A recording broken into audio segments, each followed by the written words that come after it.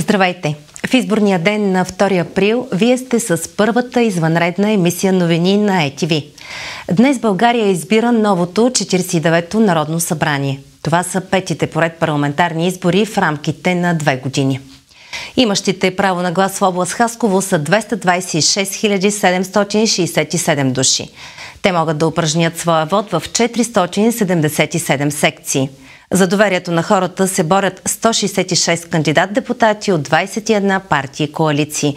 Близо 500 полицаи се грежат за реда и спокойствието в днешния ден. Каква е избирателната активност до момента в региона и има ли подадени сигнали за нарушения на изборния процес, ще разберем от Мария Ламбова, която е в районната избирателна комисия в Хасково. Здравей, Мария!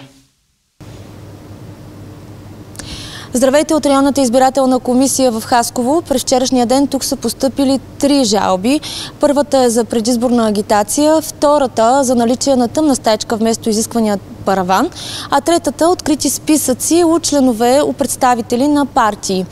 Единствено първата жалба се оказва основателна, а сега как преминава днешния изборен ден ще разберем от председателя на районната избирателна комисия господин Добромир Якимов. Господин Якимов, имате ли много жалби, основателни ли са те? Здравейте, изборният процес протича към настоящия момент нормално, всички секции работят, нямаме съществени нарушения. Към настоящия момент имаме 10 жалби, от които две са основателни. Първата жалба съществена, която е приехме за основателна, касае се за несъвместимост по член 66 от изборния кодекс, доколкото общински съветник бе назначен за, от една от политическите партии за член на секционна комисия в община Минерални бани. Нашето решение бе да бъде отстранен, той бе отстранен и бяхме оказали да бъде заменен, след което партията го замени, която го бе излъчила. Второто нарушение е за това, че председател на СИК в Ушна Стамбулово говори на турски язик, имаше съмнение за агитация на турски язик. Това също сме го отработили, прели сме сигнала за основателен. Оказано е инструктиране председателя да преустанови говора на, на турски язик по 181 само на български язик. По този случай също ще вземе мерки да бъде отстранен и реално може и да бъде наказан при следващ сигнал. Другите нарушения са по-второстепенни за агитационни материали на по-малко от 50 метра от секция, за разменени печати на две секционни комисии, за това, че в една СИГ в Хасково председателя е бил така съветвал избиратели да гласуват само на машина. Всички тези сигнали сме ги отвърлили, тъй като не се установиха, че в действителност има подобни нарушения. Имате избирателната активност към 11 часа. Да ни кажете как върви тя в област Хасково? В област Хасково като проценти са 10,39% или като брой избиратели са 23 555, които са гласували към 11 часа, от които най-ниска е избирателната активност в община Димитрат 7,6%, а най-висока е в община Любимец 18,3%. 11 машини не са сработили в секции, там ще мине вота на хартия, но има и друг проблем с машината, да кажете какъв е той. Да, имаме около 10 на случая, 10-12 общо, където машината или не пуска бюлетина от машинно гласуване, или бюлетината не е четлива, или се скъсва от принтера. По всяка вероятност, може би в тези случаи избирателя, нали, преждевременно преди звуковия сигнал, върши подобно действие, но така ли иначе във всички тези случаи непусната бюлетина, бяла бюлетина или нечетлива бюлетина, указанието на ЦИК, което ние изискахме е секционната комисия да съставя протокол във всеки един от тези случаи, на базата на който да опише случая и на базата да прикрепи бюлетината, каквато е, и а, да допусне избирателя да упражни правото си на глас на машината втори път. Даже използвам вашата медия да към всички секционни избирателни комисии и избиратели да знаят нали, в този случай как се процедира. Добре, благодаря ви, господин Якимов. Една важна информация за шофьорите в Хасково. Трябва да знаете, че улица Драгоман в района на зала Дружба, където се помещава и районната избирателна комисия, вече е затворена за движение, така че подбирайте други маршрути. Това е за сега от тук, колеги, към вас. Това беше Мария Ламбова с актуални данни към този час. Как започна изборния ден в Хасково, вижте в репортажа, който подготвиха Младен Желясков и Илия Илиев.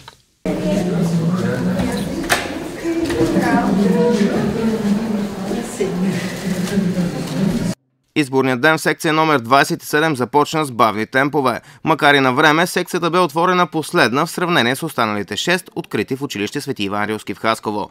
След като машината бе стартирана, започнаха да се допускат и първите гласоподаватели. Всичко е нормално, всичко е нагласено от вчера.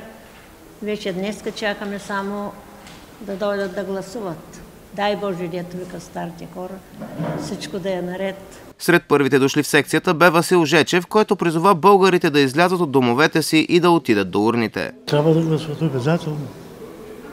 Това е право. Васил Жечев отправи призиви към политиците. Най-после да сформират правителство и да помислят за народа. Същото ги призоваха и останалите гласували рано тази сутрин в секция 27. Да създадат правителството най-накрая и да се оправи за българския народ. Това е. В тази секция по списък гласоподавателите са над 600. За половин час до урната бяха отишли десетина души.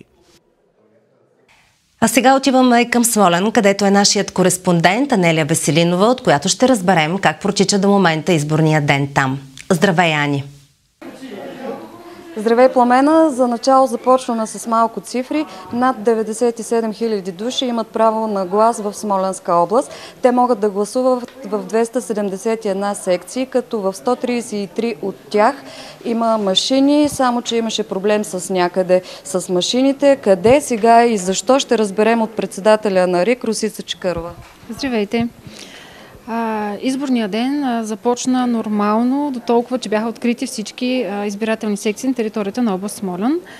Това, което възникна като проблеми, имаше неявили се членове, което е нормално за изборния процес. Съответно беше реагирано веднага адекватно, бяха направени съответните замени, хората си заеха местата. А, в сравнение с предходни избори, този, този път неявилите се членове бяха по-малко.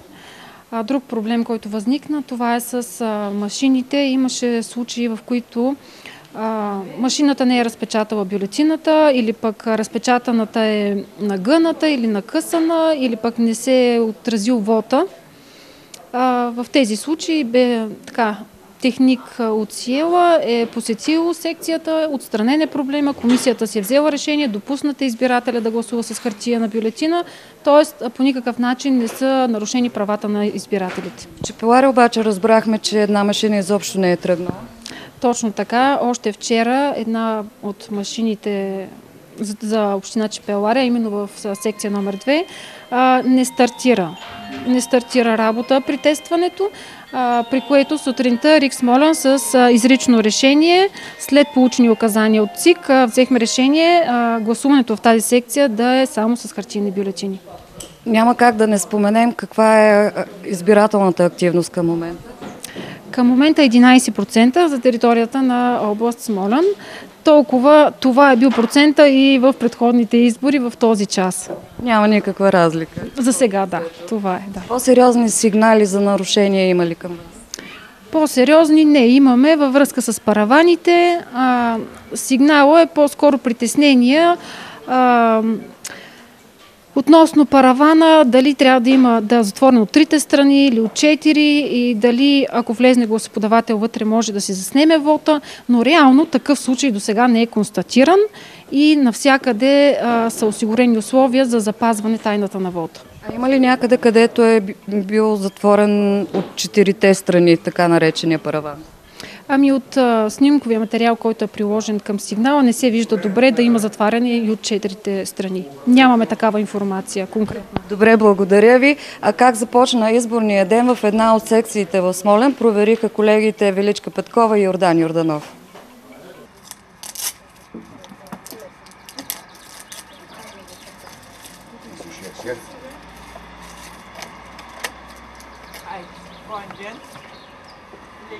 В 7 без 15 тази сутрин комисията на 16-та секция в Смолен се събра и пристъпи към отваряне на изборното помещение.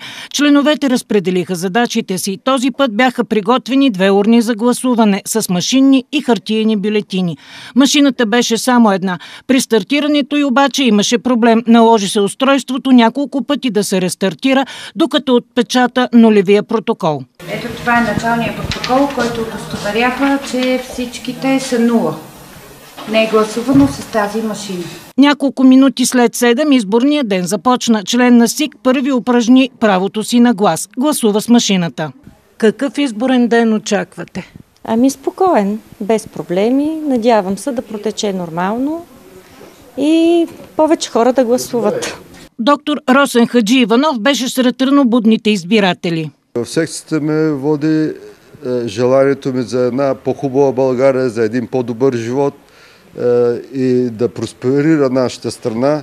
Затова всички мечтаем и, и с желание идваме да гласуваме всички. И това е задължително и призовавам всички хора да излезнат да гласуват за, за нашето бъдеще. Избирателите тук са близо 600 на брой. Очаква се повече от половината да упражнят днес вота си. 11% избирателната активност към момента, както разбрахте по-рано и един апел към всички родопчани да излезнат да гласуват, защото времето все още е топло и слънчево, а според синоптиците малко по-късно след обед ще завали. В област Кърджали гласоподавателите са 260 960.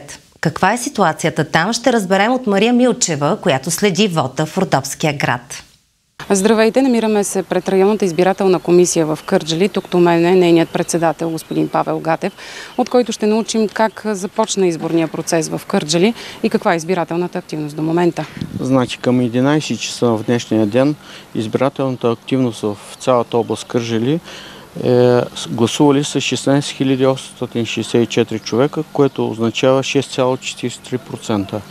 Мога да отбележа, че най-низката активност 4,35 е в община Ардено и най-високата е в община Кромоград 9,18. Има ли проблеми с машините? Така. Значи днеска в а, започване на избирателния ден първо имахме проблеми с машините в а, 10 секции на цялата територия на област Кържели, като тези секции а, първоначало а, издават а, невалидни разписки, които тези разписки се дължи на самата машина авариране, дали в хартията, дали в ел захранването, но последствие тези машини се включиха и работят. И в момента работят машини. Но в секция 138 в майстора, училище майстора, там въобще не заработи машината и имаме протокол от секционната комисия, която ние предадохме в ЦИК София ще имаме решение за спиране на машината. В момента тези девете машини работят и останалите работят. Има ли жалби, господин Гатев? Така, имаме една жалба поступила в районната избирателна комисия от една от парламентарно представените партии. Те се жалват конкретно за община Кържели говорим, в провеждане на консултациите при кмета тази партия е имала представители, двама представители в секцията, но последствие в заменките и в последното окончателно решение, което е качено от снощи на РИК 152 от 1 април, този тяхен представител, член е заличен. Възложил съм проверка на двама колеги от районната избирателна комисия. Сега в момента се извършва проверка. Благодаря ви, господин Гатев. А сега вижте как гласуваха в една от подвижните секции в Кърджали в подготвения от нас репортаж. Една от девете подвижни секции в община Кърджали започна своя обход от Дома за стари хора. До 8.30 часа сутринта 10 души упражниха правото си на глас. Освен в Кърджали, имаме и 9 села този път. Не знам как ще успеем да ги обиколим. Общо обаче са 54 човека. Тук гласуваха 6-7 човека. Част от обитателите на дома не успяха да гласуват заради изискването в подвижна секция да се гласува само с телково решение. Другите, все пак 4-5 човека нямаше как да гласуват, защото нямат тел-телк. Нали? И служебната бележка не я признават. Те са трудно подвижни, не живеят тук. Един от Пловдив, другия от Кьосово, къде да го караме в Кьосово. Последно полицайите казали кмета да се оправя, да им пусне кола. За къде да им пусне колата? Нали, до къде до Пловдив ли да ходим да гласувам? По списък в подвижната секция трябва да гласуват 54 души. Една трета от тях обаче ще отпаднат, тъй като нямат телкови решения. Това е за сега от нас, а ние продължаваме да следим изборния ден в Кърджали. Благодарим ти, Мария. Връщаме се в Хасково, където голяма част от местните политици и водачи на листи вече упражниха правото си на глас. За какво гласуваха те? Вижте. Кандидатът за депутат Делян Добрев упражни правото си на глас в секция 71 в Хасковското училище Паиси Хилендарски точно в 11 часа и 2 минути. Той бе придружен от съпругата и сина си. Аз питам как ще гласувате. С хартия. Добре. Там е хартията, Добрев е категоричен, че е време да бъде съставено правителство. Първото нещо е инфлацията. Сме говорили много по тази тема, защото заради тази инфлация българите обедняваме с всеки следващ изминал ден. Секцията, в която гласува Добрев, право на глас имат 631 граждани. Кандидатът за народен представител бе 73-я гласувал. Временно изпълняващия длъжността областен управител Мартин Озунов гласува днес в основно училище Любен Каравелов в 10 часа и 30 минути сутринта. Той упражни правото си на вод в секция 9 с машина. Днес гласувах машинно за държава с правила и закони. Призовавам гражданите да бъдат отговорни и да излезнат да гласуват, защото колкото по-масов е вота, толкова по-голяма е вероятността да излезнем от тази политическа криза, в която се намираме вече близо две години. Първото нещо, което трябва да направи правителство е да намери мнозинство, което да бъде работещо, което да намери решение на кризите, в които се намираме в момента. Секция 9 право да гласуват имат 792 граждани. Мартин Озунов без 146 гласоподавател. Кандидатът за депутата Сен Василев пристигна в родния си град Хасково, за да упражни своя вод. Той гласува в 12 часа в секция номер 28. Поради технически проблем с машината, бившият финансов министр успя да направи своя избор от третия път. Машината имаше проблем, но в крайна сметка се оправи. Успяхме да гласуваме машина. Българските граждани са излезли, гласуват и това, това е изключително важно. А, защото трябва да се даде ясна посока на страната. И аз лично вярвам, че тази посока е към едни нормални европейски доходи и един нормален европейски живот. По списък гласоподавателите в 28-ма секция в Хасково са 712. До обяд правото си бяха упражнили 110. Подвижните избирателни секции в община Хасково са две. От рано сутринта комисиите посещаваха домовете, от които има подадени заявления за гласуване по този начин.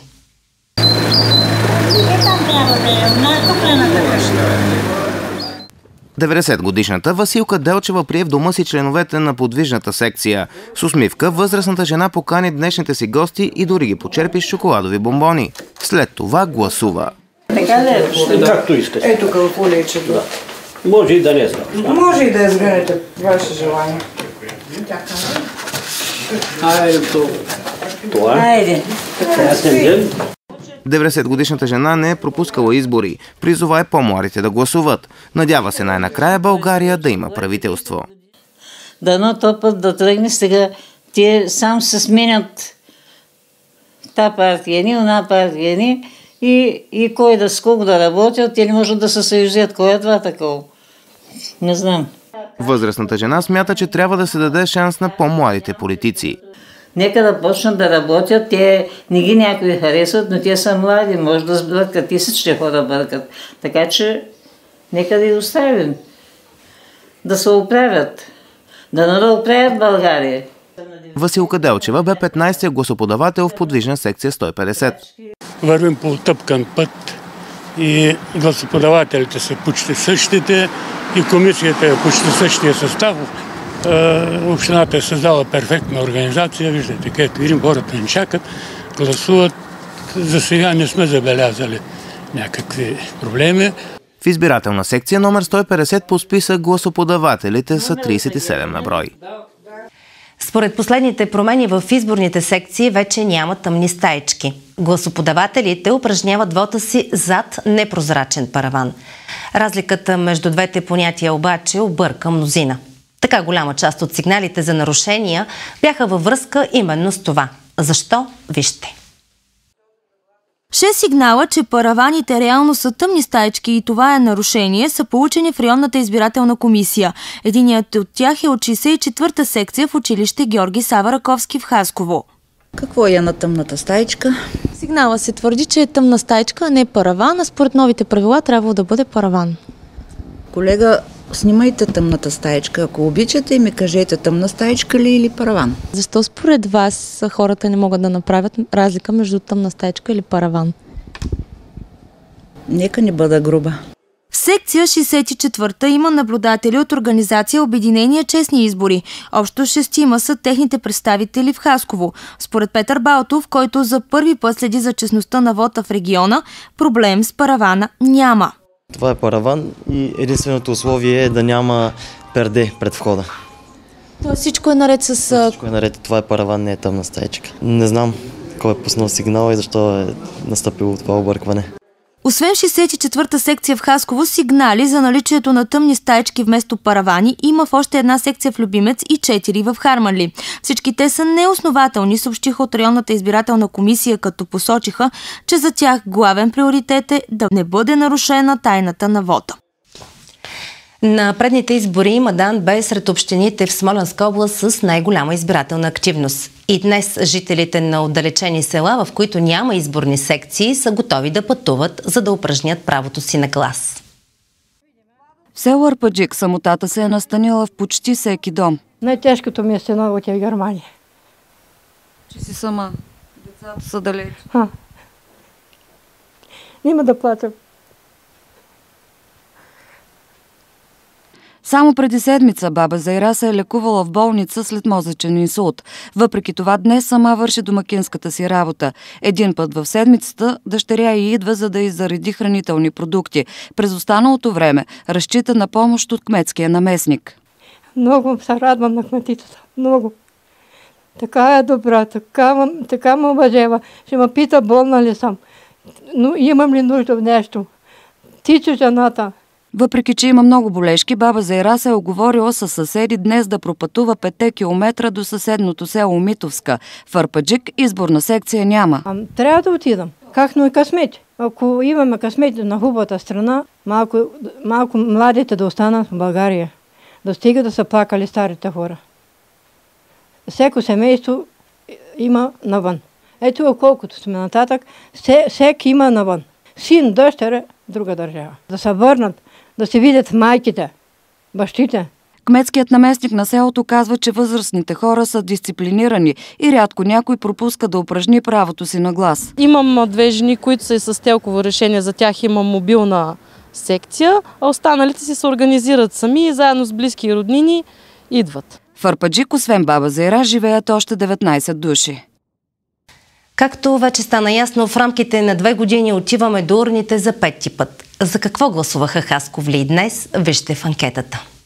За какво гласуваме? Нещо да се случи по-интересно в държавата. Да се може хората да живеят нормално и така. Да имаме правителство, да се влезе в ролята и да осигурява живота на хората. За европейска България за бъдещия България, който е свързан с Европа и с НАТО. Дай Боже да направят правителство, да тръгне държавата да стане европейска, истинска държава.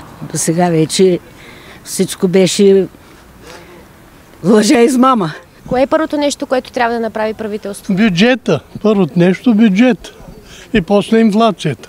Ами има доста неща, които трябва да да се гласуват. Законодателната система трябва да се промени на първо място и там нататък всичко друго ще дойде на мястото. Трябва някой да влезе в затвора. Да гласуват е, много закони, които, които чакат. Цели пакети. Бавиме средства, които можем да освоим от Европа. Трябва да приеме бюджет. Трябва да смени доста контролни органи. Трябва да заработи. А по принцип първото е да направи правителство, ако изобщо успее да направи правителство. Според мен изгледите са много минимални. Така се разделяме. Следващата ни извънредна емисия новини с актуални данни от изборния ден е в 17.30 часа. Гледайте ни!